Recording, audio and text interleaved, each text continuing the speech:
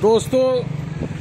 एक और वीडियो में आप सभी का स्वागत है आज हम आए हुए थे face heart centre private limited doctor Atul